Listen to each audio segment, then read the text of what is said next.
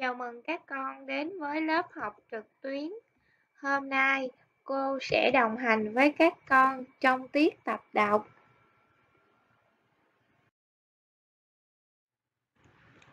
Cô có một bức tranh, bạn nào cho cô biết các bạn thiếu nhi trong tranh đang làm gì?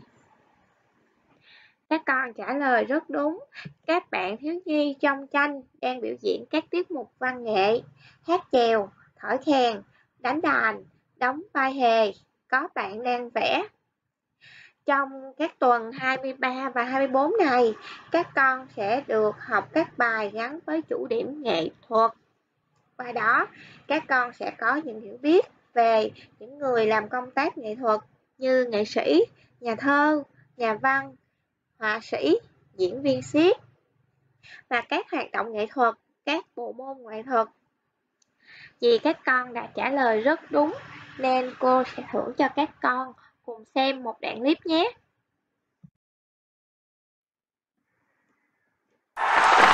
Xin chào các em, hôm nay chúng ta cùng đến những trò thật thú vị nhé. À, ở đây anh có ba chiếc cốc, cốc màu vàng, màu đỏ và màu xanh. Anh có thêm ba quả bóng nữa. Ba quả bóng màu vàng này, xếp hàng ngang này nhá. Cốc thứ nhất này, cốc thứ hai và cốc thứ ba anh sẽ úp cái cốc màu đỏ này xuống này. Được chưa? Đặt quả bóng này lên trên, cái cốc màu vàng. À màu đỏ. Sau đó úp cốc màu xanh lên. Màu vàng lên trên nữa.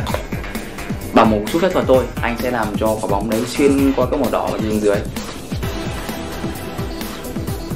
Kiểm tra nhé Ồ. rồi, anh sẽ làm lại một lần nữa với chiếc cốc màu xanh. Không màu xanh nhá, úp lên quả bóng này. Được chưa nào? Ta có ngay lên trên. Vô có màu vàng vào vô có đỏ lên trên cùng. Chuẩn bị này. Kiểm tra nha. Ừ. rồi, thêm lần nữa nhé vậy cho hai quả bóng mà. Còn thứ ba ở bên cạnh này. Thì anh úp có màu vàng lên hai quả bóng này nhá. Khó hơn một chút. Úp cốc màu đỏ lên trên. Và đặt hẳn quả bóng lên trên có màu đỏ vậy chúng ta cách hai đáy đúng không nào? Cũng không sang lên nhá. Tập một chút này. Xong rồi đấy. Bảo bóng này các em thấy trò vừa rồi có thú vị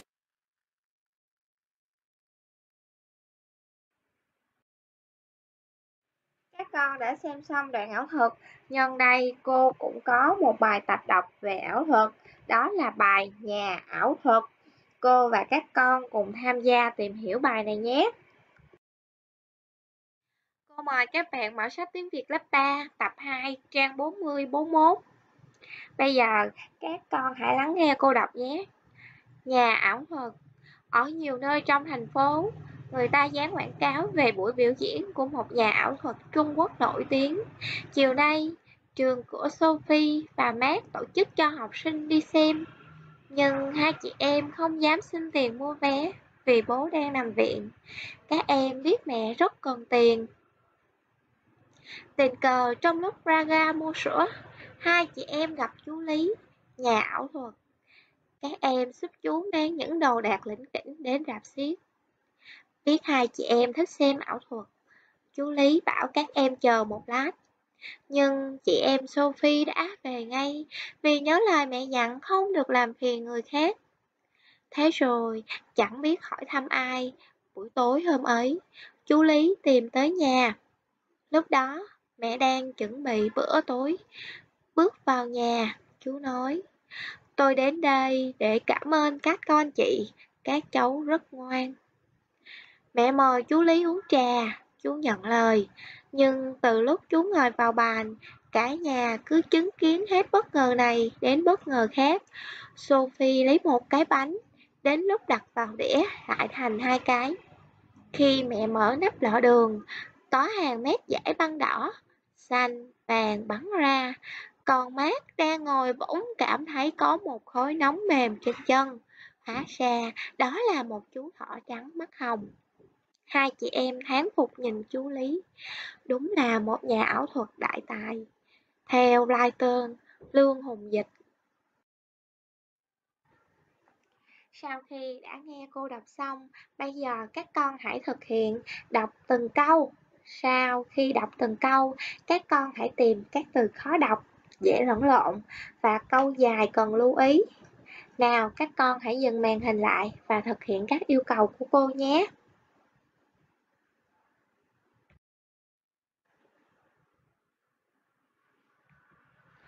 Trên đây là những từ ngữ cô lưu ý các con. Từ nổi tiếng, các con lưu ý vần ôi.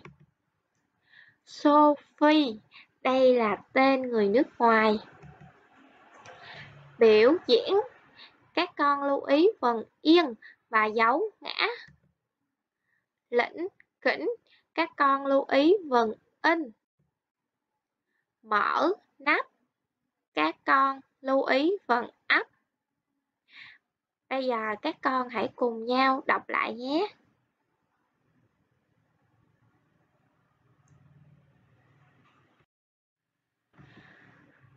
Còn câu dài trong bài, các con lưu ý ngắt nghĩ cho phù hợp. Cô đọc mẫu. Nhưng hai chị em không dám xin tiền mua vé vì bố đang nằm viện các em biết mẹ rất cần tiền.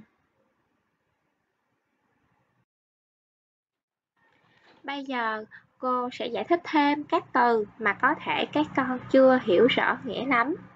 Đầu tiên là từ ảo thuật.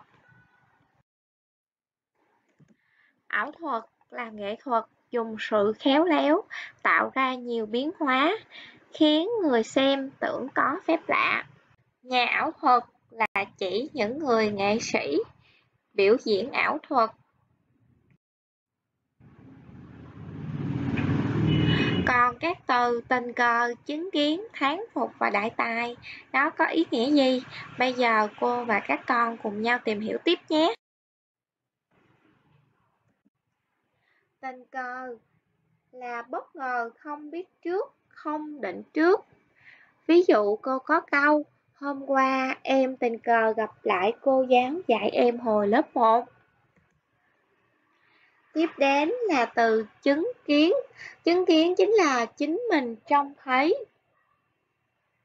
Trong bài mình có, nhưng từ lúc chú ngồi vào bàn, cả nhà cứ chứng kiến hết bất ngờ này đến bất ngờ khác. Thán phục chính là đánh giá tài năng của người khác. Còn cuối cùng, đại tài chính là rất tài.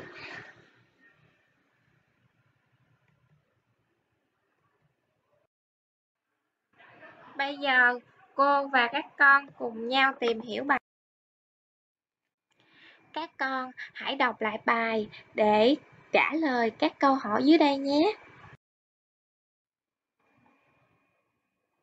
Các con hãy đọc lại đoạn 1 và cho cô biết vì sao chị em Sophie không đi xem ảo thuật. Nhớ dành thời gian để đọc và trả lời câu hỏi nhé.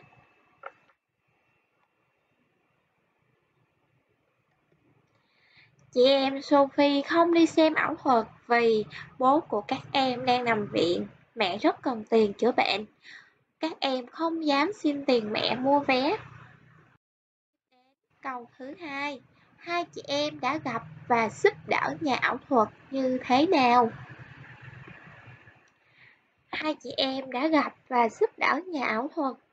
Tình cờ gặp chú Lý ở nhà, hai chị em đã giúp chú mang những đồ đạc lĩnh kỉnh đến đạp xiết.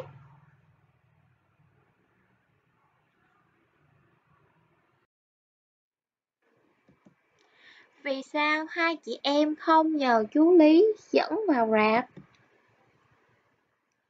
Vì hai chị em nhớ lời mẹ dặn không được làm phiền đến người khác nên không muốn nhờ chú trả ơn. Bây giờ các con hãy đọc tiếp đoạn 3, đoạn 4 và trả lời tiếp cho cô câu hỏi. Những chuyện gì đã xảy ra khi mọi người uống trà? À, câu trả lời của các con rất trùng khớp với ý kiến của cô.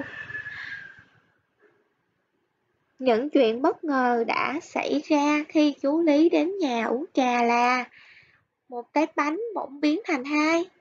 Các giải băng đủ màu sắc từ lọ đường bắn ra.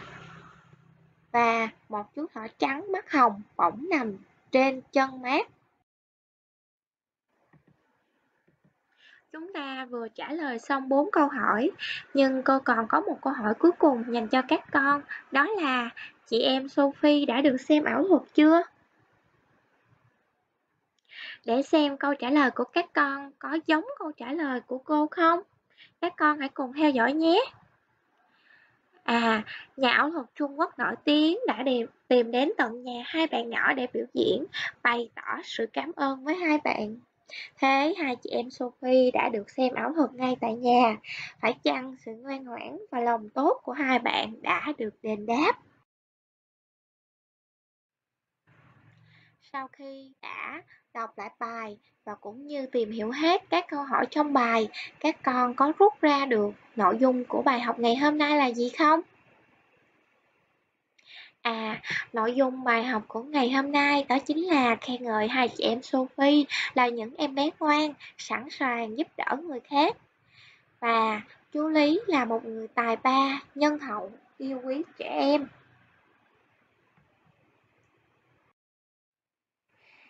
Sau khi đã hiểu nội dung bài, chúng ta cùng nhau luyện đọc nhé. Các con cùng nhau đọc đoạn văn sau nhớ ngắt nghĩ cho đúng. Các con có thể lắng nghe cô đọc mẫu. Nhưng từ lúc ngồi vào bàn, cả nhà chứng kiến hết bất ngờ này đến bất ngờ khác.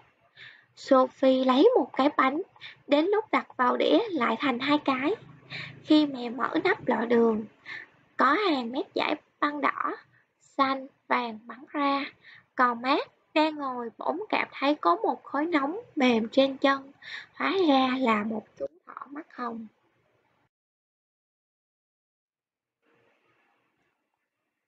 Sau khi đã nghe cô đọc, các con về nhà hãy cố gắng luyện đọc. Trước khi kết thúc bài học, cô có một số dặn dò dành cho các con. Các con nhớ đọc lại bài, trả lời các câu hỏi và luyện đọc diễn cảm bài nhé. Cuối cùng là nhớ xem bài luyện tập đọc tiếp theo. Tiết học đến đây là kết thúc rồi. Hẹn gặp lại các con vào các buổi học khác nhé.